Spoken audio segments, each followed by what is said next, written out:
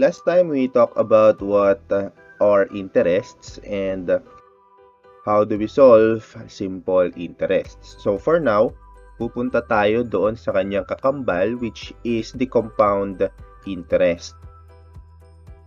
So papaano tayo magsisolve ng compound interest and ano-ano nga ba yung mga applications ng isang compound interest.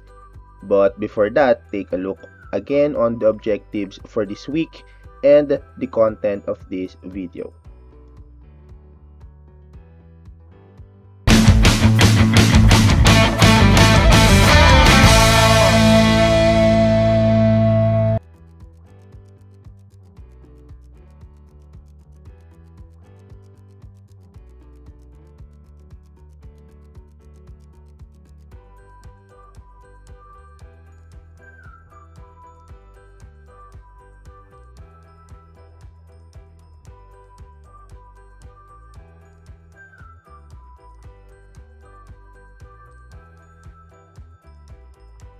So, paano nga ba sinesolve ang compound interest? So, syempre, kailangan nating pag-aralan muna kung ano yung mga formula o yung formula na pwedeng gamitin sa pagsisolve ng compound interest.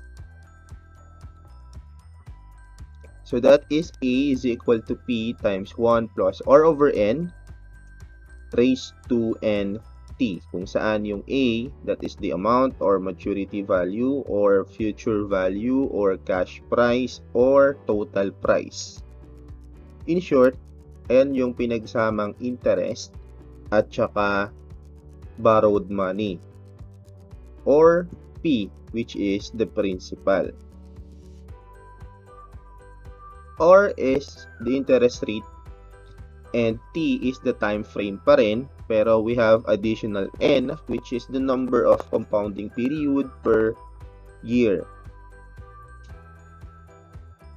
Remember that compound interest, yung kanyang rate is changing every period of time. Halimbawa, monthly nagbabago yan. So every month tataas ng tataas yung kanyang interest. So yung N is the every month. So, kung every month, that will be 12 months a year. So, yung N natin will become 12. Anyway, later, i-specify natin kung ano yung mga compounding period per year. Important note, kagaya ng simple interest, transform always your rate to decimal form by just moving two decimal places to the left. So, we need to transform the rate, the percentage, into decimal form.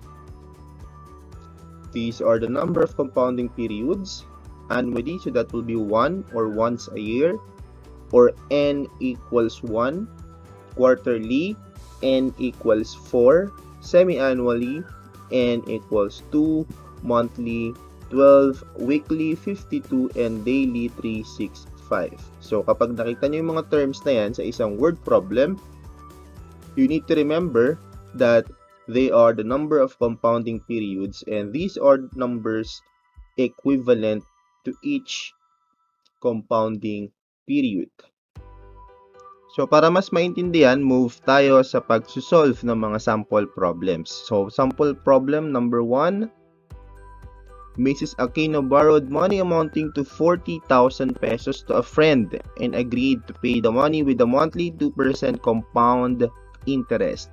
How much will she pay if they both agreed to pay the amount after 2 years? So, breakdown natin yung problem. Siya daw ay humiram ng 40,000 pesos sa kanyang kaibigan and babayaran niya ito with monthly 2% compound interest. Magkano ang babayaran after 2 years? So, list down the given. We have P of 40,000 we have r of 2% and then transform this by just moving the decimal places twice to the left. That will be 0.02 we also have t of 2 years and n of compounded monthly which is 12 and we're looking for the total amount or future value or total price or cash price For the solution, we will use the formula. Always write down the formula first para hindi kayo malilito sa pagsusolve.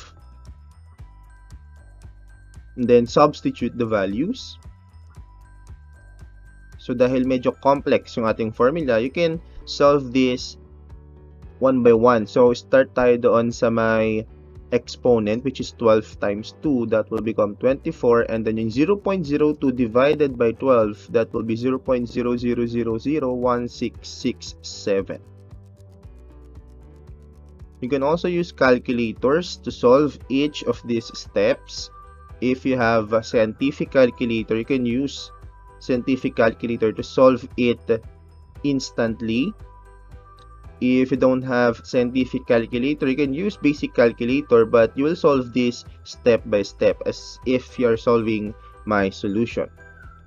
So if you combine 1 plus 0.0001667, that will become 1.0001667 raised to 24. And then you will raise that to 24, that will become 1.04078. And then lastly, multiply it to 40,000, then we will have 41,631.04. So definitely, Mrs. Aquino will pay 41,631.04 after 2 years. Now, you can always use calculator for easy calculations. Sample problem number 2, Miss Aguilar paid a total of 756,130.75 pesos for 5 years from her loan on a bank A.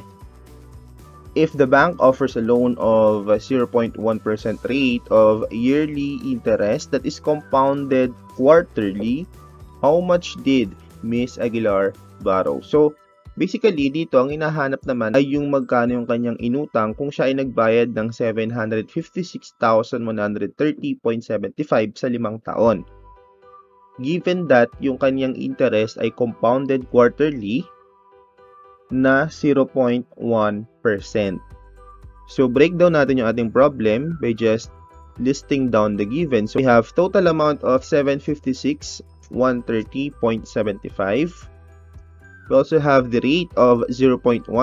Then, move this twice to the left. Time of 5 years. And N is 4. And we're looking for the principal amount. For the solution, use the formula and substitute all the values. Ngayon ito, hindi mo siya kagad pwedeng i-calculator.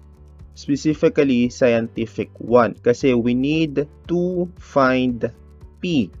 So for that, kailangan mo munang i-derive yung P. Pag sinabing i-derive, hahanapin yung P, kailangan alisin mo lahat yung numbers na hindi kasali sa kanya. Like yung whole 1.0002445, re-remove mo lahat yan. Siyempre, bago mo i-remove, kailangan mong i-simplify. Start with the exponent for 5. And 0.002 divided by 4. You can use basic calculators for that.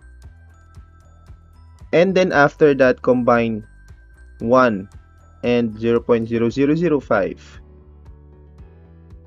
Pagkatapos nun, pwede mo na i-divide both sides by, syempre, 1.005 raised to 20. Cancel. And then you can use calculator for easy calculations of 756,130 0.75 divided by 1.0005 raised to 20. So kapag nag-calculate ka, ang lalabas dyan ay 752,360.002. So ang hiniram na pera ni Miss Aguilar ay 752,360.002. And that's how you solve compound interest problems.